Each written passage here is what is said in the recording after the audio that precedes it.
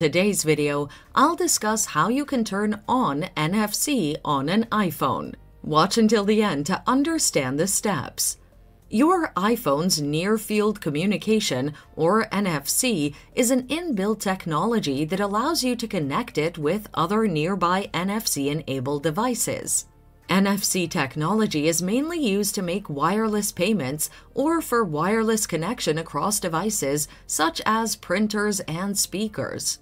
Note that the NFC feature is only available in iPhone 7 and newer versions such as iPhone 8, iPhone 11, and iPhone 14. Follow these steps to turn on NFC on your iPhone.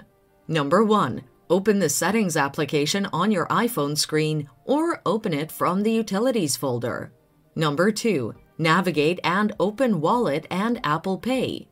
Number 3. Under Wallet and Apple Pay, tap on NFC scanning. Some iPhone versions might have this option as NFC Tag Reader. Tap the switch to turn this option on and enable NFC. Are you safe when you use NFC for payments?